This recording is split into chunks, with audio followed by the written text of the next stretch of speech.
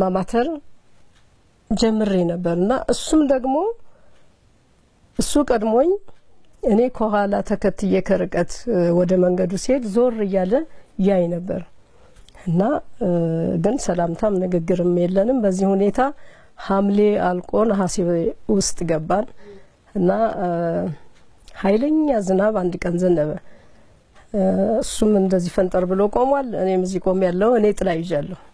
እሱ ግን ምንም ጥላ አልነበረውም። የሆነ ጃኬ እንትን የዝናብ ልብስ ነገር ለብሷል። እንዴ ጥላሽ ሰው አያስጠልልም እንዴ ሲለኝ እና ተጠለል ይበቃናል አልኩት። ተጠለለ። ሁለታችንም ቆምን ታክሲ ጥበቃ። በአጋጣሚ አንዲት ሴሸንቱ ይባል ነበር በዛ ጊዜ እና አንድ ታክሲ መጣች። የትኛችሁን ልርዳ ሲል ሁለታችንንም እርዳንም የጠየቅ ከሆነ እከፍልሃለሁ አለው። ገባን እና የት ነው የምትሄጀው አለኝ። ከዛ በፊት ንግግር ስላልነበረን የት እንደሚሄድም አያውቅም ነበርና እኔ ዩኒቨርሲቲ ነው የሚሄደው አልኩት። እሺ መጀመሪያ እሷን አድርሳት አለው። ዩኒቨርሲቲ ግቢ ውስጥ ገብተን አወረዱኝ የመማርበት ክፍል። ከዛ እሱ ተመልሶ መከላከያ ድረስ ሄደ እና የሁለታችንንም ወጪ እሱ ከፈለ። እኔም ልክፈል ብዬ ተግደርድሬ ነበር። ያ ውለታ በማግስቱ ውለታ ስላለፈብኝ እንደምን አደርክ አልኩት። እንደምን አደርሽ አለኝ። በዚህ ነው የተጀመረው። እንግዲህ በሰላምታ ጀመርን ግንኙነት። እኔ ኖርበት የነበረው ግቢ ኪዮስኮች አሉ። ኪዮስኮች ውስጥ ያሉ ሴተኛ አዳሪዎች ሁልጊዜ እርስ በርሳቸው ይከራከሩበታል። እኔ ነኝ አንድ ቀን አፍኜ ይዤ የማስገባው ሲሉ ሰማ ነበር። በጣም ቆንጆ ስለነበረ እና አለባበሱ ደግሞ ግርማ ሞገስ ይሰጠው ነበር። በትረ መኮንኑን እዚህ ብብቱ ጋር አድርጎ የጦር ሰራዊት ኮፍያ ወደ አንድ በኩል ጋደል አድርጎ እና ቆፍጠን ብሎ ሲራመድ ያየው ሁሉ አይኑን ይጥልበታል እና እኔም ተነክቼ ነበር ማለት ነው። ግብዣውን ተቀበልኩ። በማግስቱ ስንገናኝ እጣ አወጣለሁ ብለሽ ነበር የት ደረሰሽ ሲለኝ አርሲ ነው የደረሰኝ አልኩት። ታውቂዋለሽ አርሲ ማለት አላውቀውም እኔ ይዤሽ እሄዳለሁ አለኝ። ከዛ በኋላ የተቀጠርኩበትን የተመደብኩበትን ደብዳቤ ከትምህርት ሚኒስቴር ይዤ ከሱ ጋር አርሲ ወረድን። ከተወሰነ ከአስራ አምስት ቀን በኋላ እንድመጣ ተነግሮኝ ተመልሰን መጣን። እንግዲህ በዚህ ሁኔታ ፍቅር ተጀመረ። ፍቅር ጎመራ። በዚህ ውስጥ ስነ ጽሁፍ ነበር። አዎ በዚህ በችግሩም በተማሪነቱም ህይወት ውስጥ ያው ከውስጥ ያለ ኃይል ስለሆነ ማፈንና ማስቀረት ስለማይቻል አነብ ነበር። በእርግጥ ለንባቤ ለጽሁፍ ፍቅሬ ለመሰረቴ የነበረው አባቴ ነው።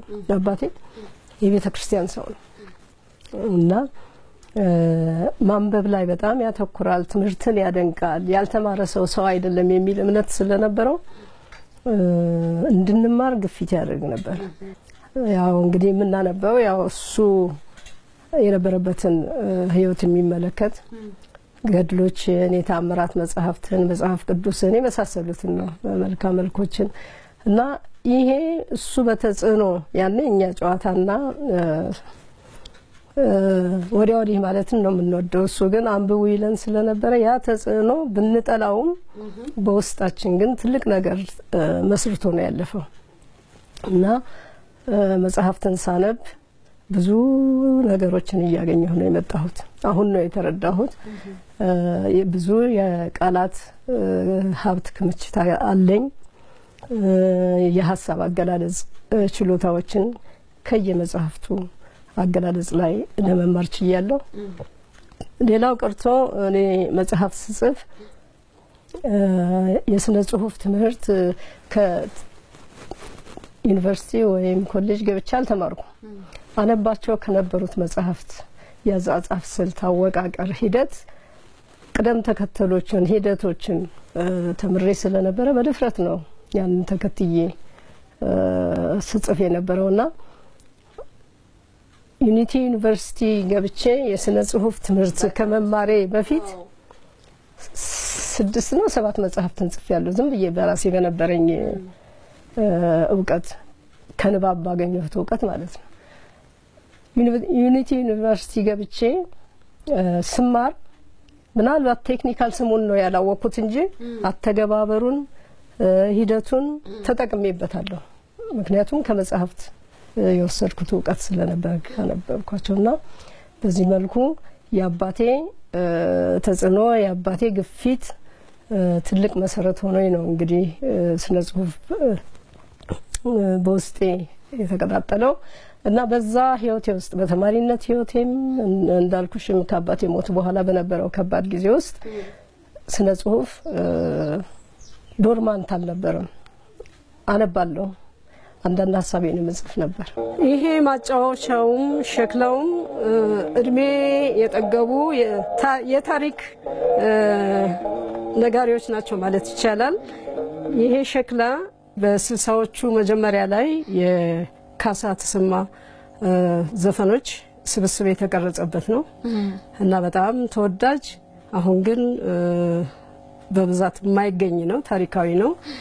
ማጫወቻውም ከ45 ዓመት በላይ እድሜ ያለው ማጫወቻ ነው እና እነዚህ ነገሮች እንግዲህ ከኔ ጋራ ለረጅም ዓመታት አብረው ቆይተዋል።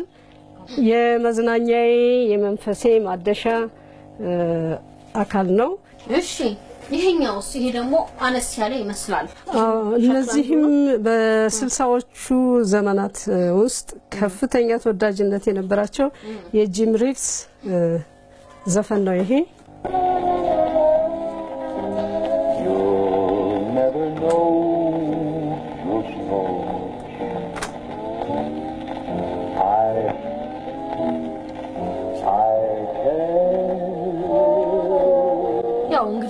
እድሜ የተጫነ ይመስላል።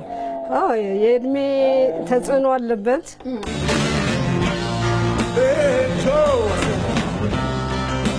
I heard you shot your lady down, you shut her down. Yeah.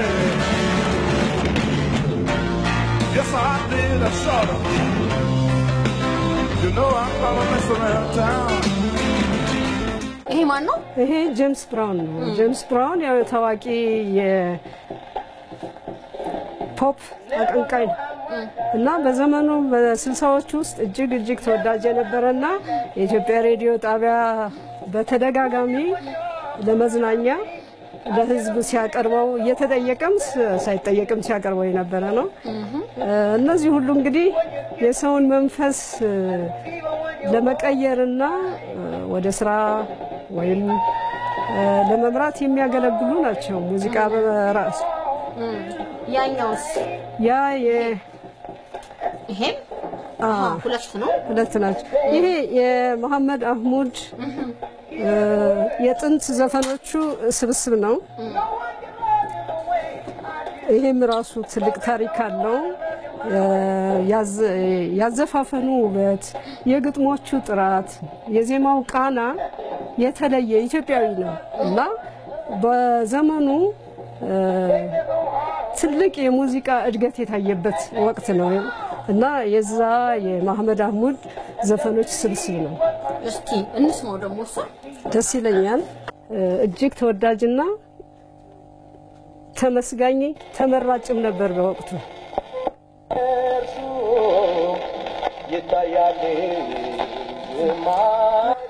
ቅላጼው ደስ ይለኛል እና እ፣ ከካሳ ቀጥሎ እሱንም እየሰማው የራሴን የዝንባሌ ስራ የምሰራበት ወቅት አለ።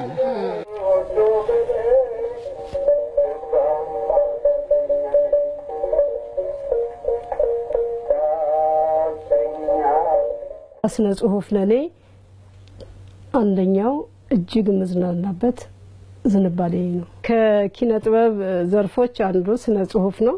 ስነ ጽሁፍ የሰው ልጅ ስሜቱን የሚገልጽበት፣ የሚዝናናበት፣ የሚያስተምርበት እና የሚማርበት አንድ ትልቅ መድረክ ነው እና ስነ ጽሁፍ ከመዝናኛነቱ የሰውን ሕይወት ከመግለጫነቱ ከመስታወትነቱ ባሻገር ለደራሲው ወይም ለጸሐፊው ስሜቱን የሚገልጽበት መልእክቱን የሚያስተላልፍበት ሀሳቡን ለሰዎች የሚያካፍልበት መሳሪያው ነው። እንግዲህ ስነ ጽሁፍን በምጽፍበት ጊዜ ለመንፈስ ማነቃቂያ የምጠቀምበት ስልት አለኝ። ያም ሙዚቃ ነው። ቅድም እንዳልኩት እነዚህ የኪነ ጥበብ ዘርፎች የተሰናሰሉ ናቸው። አንዱ ከአንዱ ጋራ ተያይዞ የሚሄዱ ናቸው እና ስነ ጽሁፍ ስጽፍ እጅግ ለስላሳ እጅግ ስሜትን የማይረብሹ ሙዚቃዎችን ማዳመጥ እወዳለሁ። ሙዚቃ የኪነ ጥበብ ስራዎችን የምታሳድግ የምታለመልም እ፣ ጸጋ ነች እና ሙዚቃ ባለበት ብዙ ደስታም ይኖራል፣ ብዙ መመራመር ይኖራል፣ ብዙ ማሰብና ብዙ መጻፍም ይኖራል እና በምጽፍበትም ስዕል በምሰራበትም ጊዜ ሙዚቃ ነው እየሰማሁ እያዳመጥኩ ነው የምሰራው። በይበልጥም የካሳ ተሰማ የአባባ ተስፋዬ ሳህሉ የክራር ቅኝቶች፣ የባህሩ ቀኜ፣ የአስናቀች ወርቁ እነዚህ እነዚህ በራሳቸው ትልቅ ጣዕም አላቸው። ላይ መንገድ መላመላ መቼ ነበረበት መላመላ በድንገዳ ሰውነሽ መላመላ ተመላለስንበት መላመላ ኧረ መላመላ መላመላ ኧረ መላመላ መላመላ እሱ መላመላ መላመላ ኧረ መላመላ መላመላ እ፣ ግጥምና እ፣ ስዕል አብረው ይሄዳሉ። እኔ አንድ ስዕል አንድ ስሜቴን ወይም በውስጤ የተፈጠረውን ሀሳብ በስዕል እገልጸዋለሁ። ያንኑ ሀሳብ ደግሞ በቃላት እገልጸዋለሁ፣ በግጥም ወይም በዝሩ በስድ ንባብ እገልጸዋለሁ። ስለዚህ እነዚህ የጥበብ ዘርፎች የተያያዙ ናቸው። እነዚህንም ዘርፎች እጠቀምባቸዋለሁ። እንደምን ዋላችሁ? ፀሐዬ እንዴት ዋልሽ? እግዚአብሔር ይመስገን። እንዴት ደህና? መጣሽ። ደህና ነሽ ወይ? እንደምን አለሽ? ይመስገን። ቀለሟ እንዴት ነሽ? ነካፍሽ መሰለኝ። አዎ። ችግር የለም እንግዲህ ችግር የለም። ምን ይደረግ። ዛሬ ማንን እየሰራሽ ነው? ዛሬ እንግዲህ ያለሁት ከስዕል መንፈስ ጋር ነው ያለሁት። በውስጤ የሚመላለሰው የስዕል መንፈስ ነው። አሁን እየሰራሁት ያለሁት አለባበሳችንን በተመለከተ ኢትዮጵያዊ አለባበስ የራሳችን ቅርስ ነው፣ የራሳችን ጥበብ ነው። ራሳችንን የቻልን ሰዎች መሆኑን ከጥንት ጀምሮ ሸማ ሰርተን ሸማችንን አስጊጠን በጥልፍ በአለባበስ አሳምረን ኢትዮጵያዊነታችንን የምንገልጽበት በመሆኑ ይሄ ነገር በስዕል ተቀርጾ ለትውልድ መተላለፍ አለበት የሚል እምነት አለኝ። አንድ እሱ ነው። ሁለተኛ ለእኔ መዝናኛዬ ነው። ስዕል፣ ስነ ጽሁፍ፣ ሌሎችም እደ ጥበባት መዝናኛዎቼ ስለሆኑ ዛሬ ይኸውልሽ ብሮሽና ቀለም እያዋሃ እያገናኘው አንዳንድ ስራዎችን እየሰራሁ ነው ያለሁት። እኔ የስዕል ፍቅር አለኝ። ስዕል ለመስራት በውስጤ መንፈሴ ሲነሳሳ አመቺ ሁኔታ ጠብቁ ባገኘሁት ነገር ለምሳሌ እዚህ ለጨርቁ ወይም ለምስልበት ካንቫስ መደገፊያዬ ሌላ ምንም ታሪክ የለውም። ካርቶን ቆርጬ ነው ማስደግፈው። ካርቶኑንና ጨርቁን ለማያያዝ ደግሞ ልብስ ሳጥብ የምጠቀምበትን መቆንጠጫ እጠቀማለሁ እና በሚመች ጊዜ ብቻ ሳይሆን ሳይመችም ሁኔታውን አመቻችቶ ዝንባሌን መግለጽ መቼም የኪነ ጥበብ ሰው ስራው ነው እና ለዛ ነው እንግዲህ እዚህ ስጠቀምበት ያየሽው። አሁን ለመንፈስሽ የሚሰማሽ ደስታ፣ የመዝናናት ስሜት ምን አይነት ነው? እጅግ በጣም ደስ ይለኛል። ይሄ ስዕል ብዙ መልእክት ይናገራል ብዬ ነው ማስበው። ሸኛና ፍርምባ ሞልቶ ባገልግል አንጀት ትበላለች ደሃ ነገር።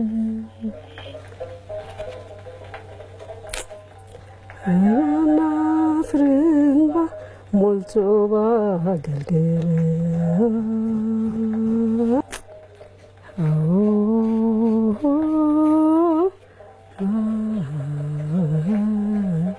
እኔ አንጀት አልበላም አንቺን ይመስል እኔ አንጀት አልበላም አንቺን ይመስል ይኸው ክራርም አለ። ይሄም ራሱ እድሜ ጠገብ ይመስላል እንደማየው እንጨቱ እና ቆዳው? ይሄ እንግዲህ ወደ 65 ዓመተ ምህረት ላይ ቁርጥ ሀሳብ አድርጌ ክራር ለመጫወት እንደም- እንደምታውቂው የካሳ ተሰማ ነገር አይሆንልኝም። ለክራሩ ንጉሥ ለካሳ ተሰማ መታሰቢያ የተገጠመ ነው። ርዕሱ የማይሞተው ካሳ ይላል። ዘላለማዊነት ጉዳይ ከተነሳ በብቁ ዋቢነት ይጠቀሳል ካሳ። ስሜት አንበርካኪው በጣፈጠ ዜማ የትዝታው ንጉሥ ያ ካሳ ተሰማ። ከዓለም ተለይቶ አፈር ሆኖ ስጋው አለ በመንፈሱ በሕያዊት ጸጋው የመልእክቱ አንደበት የመንፈሱ ቋንቋ የሐሴቱ መልህቅ ረቂቋ ሙዚቃ ዛሬም ትሰማለች በውብ ድምፁ ቃና አለች ከሰዎች ጋር አልሞተችምና ይዝቺ መድኃኒት ስሙ ዳማከሴ ፍቅሪ ሲጎ ወስትተኝ ተቀደደ ልብሴ ፍቅሪ ሲጎ ስትተኝ ተቀደደ ልብሴ አንድ እንጀራ ላስር እንዴት ይበላል ሰው ብርቱካኔ አንድ እንጀራ ለአምስት እንዴት ይበላል ሰው? እንደ ኮረኮመች እሷው ትጨርሰው። እስኪ ቡናሽን ጠጣሽ ቀዘቀዘ። በእነኚህ ጊዜያቶች ውስጥ መቼም ብዙ ችግሮችን አሳልፈሻል፣ ቤተሰብ አስተዳድረሻል። በእነዚህ መካከል እንደው ዘና ያደርገኝ ወይም ያጽናናኝ የነበረው መንፈሴን ሰላም ይሰጠኝ የነበረው ግጥም መጽሐፍ ነው ወይስ ሌሎች ስነ ጽሁፎች ናቸው ብለሽ ነው የምትይው? በችግሬ መሀል ሰላም ይሰጠኝ የነበረው ስነ ጽሁፍ ውስጥ ስገባ ነው። ወደ ስነ ጽሁፍ ዓለም ስገባ አካባቢን እረሳለሁ። የተጋረጡ ችግሮችን ሁሉ ረሳና በራሴ ዓለም ውስጥ በቃ እንደፈለግኩ የፈጠርኳቸውን ሰዎች አናግራለሁ፣ ከነሱ ጋር እጓዛለሁ፣ እንዲናገሩ አደርጋቸዋለሁ፣ እንድንወያይ አደርጋለሁ። እና እነዚህ ነገሮች ደስታ የሚሰጡኝ የሚሰጠኝ ጊዜ ነበር። እና ግጥም ግን የልቤን ውስጥ እሳት የምተነፍስበት አጭር መንገድ ነው። እና ግጥሞቼ የመተንፈሻ መሳሪያዎች ናቸው ማለት እችላለሁ።